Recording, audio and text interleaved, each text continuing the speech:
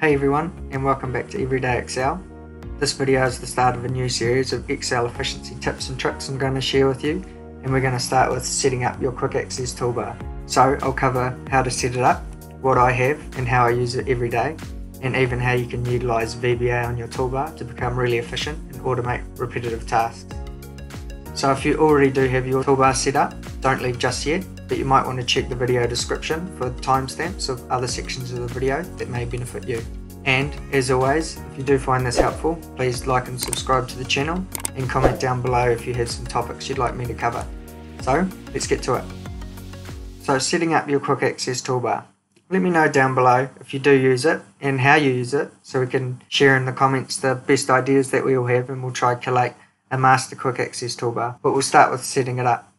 So within Excel at the top, if, if you haven't set this up before, your quick access toolbar will probably sit right up here at the top and you'll probably have some basic things like uh, save and maybe the email attachment and not a lot of these icons. So I like to have mine shown below the ribbon. So you can right click this drop down box here and say show below the ribbon and then they'll all show up down here.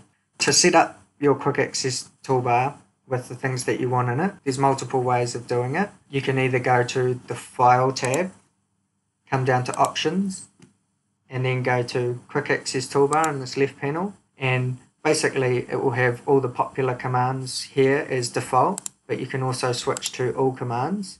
And then every different command within Excel, as you can see, the list is very big.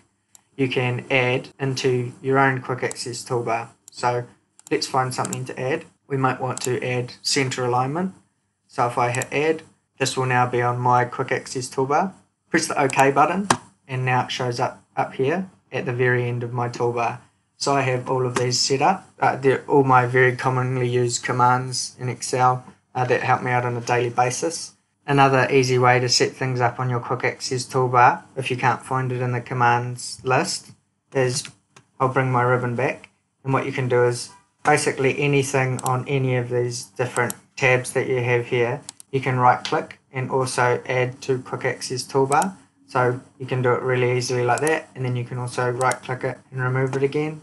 So you can just go through all the different tabs and find things that you uh, use on a regular basis. Like it might be a text box for example and you could add that to quick access toolbar. I'll just remove that for now. But yeah, you get what I mean. You can just right click and add them based on what you use frequently. So I usually work without having my ribbon up here. So you can hide that ribbon so you've got more space using Control F1. So I just push Control F1 then and it hides that. You get to keep your quick access toolbar up here and along the top, uh, which means that you don't have to constantly bring down the ribbon. So now we'll get into what I use my quick access toolbar for on a daily basis. So if I come to my quick access toolbar and I go to more commands to show what I have in it, based on where you have your different commands in this list will determine what the keyboard shortcut is to use it.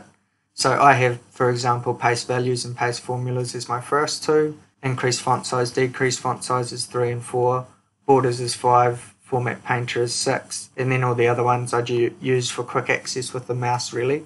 So if I hit OK, I'll start demonstrating some of these and how I use them. So let's say that you're setting up a model and that your client has given you a set of inputs from their Excel sheet and they're not formatted very nice. And let's say we have this input box here that we have formatted nicely. It might be a certain amount of decimal places and whatnot, and you have to copy these in and paste them up into your input sheet without losing the formatting. So if you just copy and paste, obviously you'll lose the formatting, which we don't want to do. So what you can do is paste values. Now I know a lot of people use the keyboard shortcut Alt ESV and then hit enter, which copy pastes values. Or some people will just copy this range, click here, if they go to home, paste special, paste values, they can paste them in like that as well.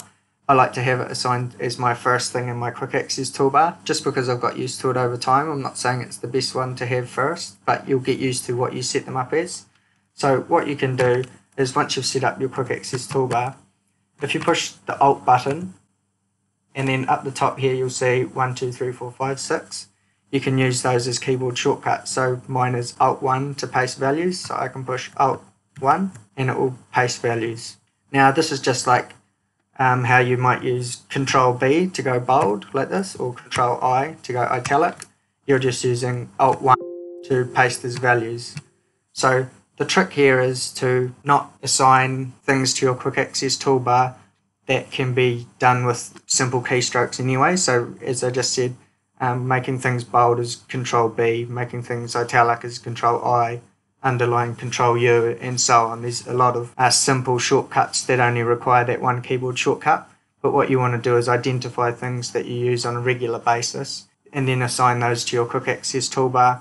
Usually I only use the first five or six for keyboard shortcuts, things I use very often. And other than that, I'm just clicking up here. So, so I use things like my fill or my font color, trace precedents and dependents and remove arrows, freeze panes, attach Excel book to an email, save, etc. So that was what I first use it for is copying and pasting values using Alt 1. The next example I want to show you is for my second command on my quick access toolbar, I use paste formulas. So let's say we came, we had a little scenario like this where we're calculating a variance.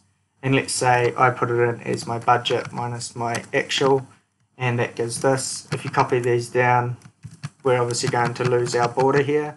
So I have borders set up as Alt 5, so I can hit Alt 5 and then I get all the different borders there. And I use bottom border and top border a lot, so I know that Alt 5O is bottom border and Alt 5P is top border. So I can push Alt 5P and now I have a top border here. But my gross margin needs to be a percentage. So you can use Control Shift 5 in this example for me. A Control Shift percentage to format as a percentage and that will do that. But let's say that you accidentally got your variance around the wrong way. So it should actually be my actual minus my budget. If you copy paste this down the same thing's going to happen. You're going to lose your formatting and you're going to lose your percentage and you have to do it again. But if you copy this down and I use Alt 2 for paste formulas, it will just paste the formula and you'll keep all your formatting. So you don't have to do it slowly like I just showed you. You can do it very quickly. So you don't have to wait for the number to pop up on top of your quick access toolbar before you can execute it. So that's one example. So let's say that the grey here is formatted like this because it's actuals for these years and then these are forecasts and we need to add a total so you can hit alt equals as an auto sum and that will sum it and then if you hit control and you came across and pasted it here you're actually going to paste the grey with it but we don't want to do that so you may just go control and how I have my quick access toolbar set up and alt 2 would be paste formulas and now you've got that formula coming across but we didn't take all the other formatting with us so there's two sort of examples of how paste formulas works beneficially, and you don't have to do Alt ESF or Alt ESV, um, other shortcuts, or doing click for paste special, etc. So that should speed you up and save a lot of time. The next two things I have set up is increase and decrease font size is my Alt 3 and Alt 4. And the reason I have these set up here is because I also have them set up in other Microsoft Office products. So for example, if I come to PowerPoint,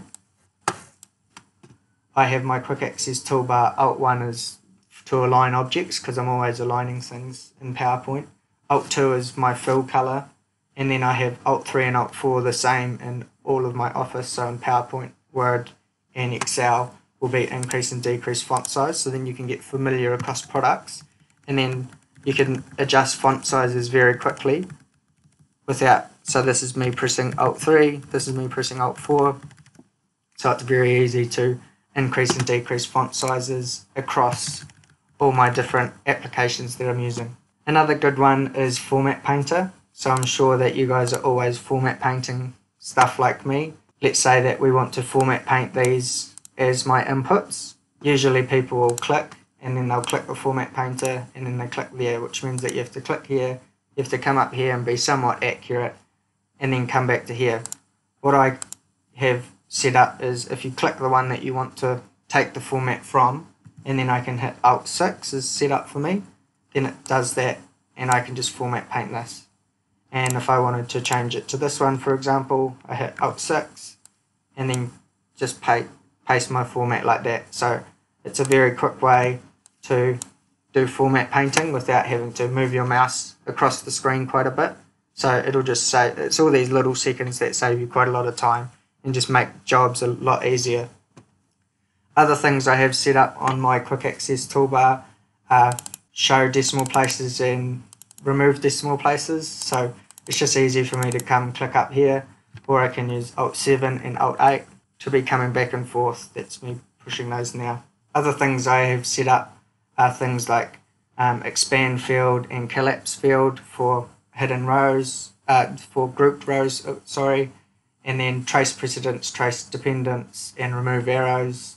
As I said before, my font color and uh, fill color. Also your font size here if you wish. I have, have grouping here. I have uh, email, so if I click this, it will attach this workbook directly to an Outlook email, so you don't have to go file share anymore. And then freeze panes is obviously quite common as well, and save, and we'll cover these two here in a second. So something I'm always doing as an investment banking analyst is creating things like graphs and copying them into a PowerPoint deck, for example. So let's say, for example, here we had some um, data about geographies and maybe this is their sales split. I might need to create a pie chart. So you can create a pie chart by hitting Alt, N, Q, and then Enter, and that will create a pie chart. Or, of course, you can just insert and create a pie chart how you normally would. But what I'm always doing is I'm always coming in, I always have to delete my chart title because I usually have will have some sort of title bar. That's my own format. I'll also remove the fill and I'll also remove the outline. Now that's a good half a dozen clicks. And if you're doing lots of graphs and you're trying to do it quickly, that's obviously a very repetitive task that's annoying. So what you can utilize is your personal macro workbook and you can create little VBA scripts and then stick them on your toolbar here. So what I have set up here, this one's called uh, Personal XLSB because it's in my personal macro workbook across Excel, which basically means no matter, no matter what Excel workbook you're in, you'll be able to use this macro. This one here is called graph format. So I'll show you how it works. I can go Alt NQ and insert a new pie chart and then all I do is click this button and it removes my fill color, my border and my chart title and then maybe I'll just click the white font here and I can use my Alt 3 to increase the font size, Control B for bold and now within about 10 seconds I've got this formatted how I would copying it into a PowerPoint.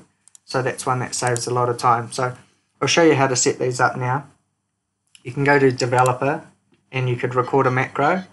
And when you do record it you want to go store macro in personal macro workbook. And then you'd record your macro. And then what you can do is if you come up to your quick access toolbar you go to more commands come to the drop down list and there's macros here. Scroll down to the bottom and you'll have your personal mac macros that you record. I've only got a couple. I'm sure you guys can think of some ideas that maybe you could automate as well. And what you'd do is you'd add it into here like I've added this. Let's remove it and let's add it again. So I'll add it and it gives it a little icon here.